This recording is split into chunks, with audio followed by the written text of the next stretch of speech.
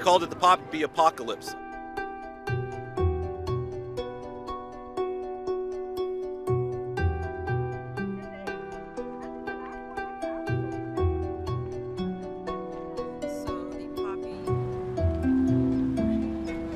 Oh, they're really pretty. I really like them. Yeah, it was worth it. 100,000 people show up to this area yesterday. We had uh, everything from uh, traffic jams, uh, snake bite up on the uh, hillside, to uh, staff resources being completely expended.